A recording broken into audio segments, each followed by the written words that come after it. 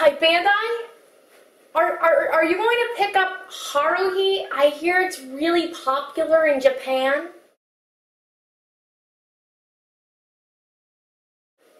Hi, Kubo Sensei. I'm a huge fan of your Naruto manga, but I was wondering, did you intend for Naruto and Sasuke to be in such a gay relationship together?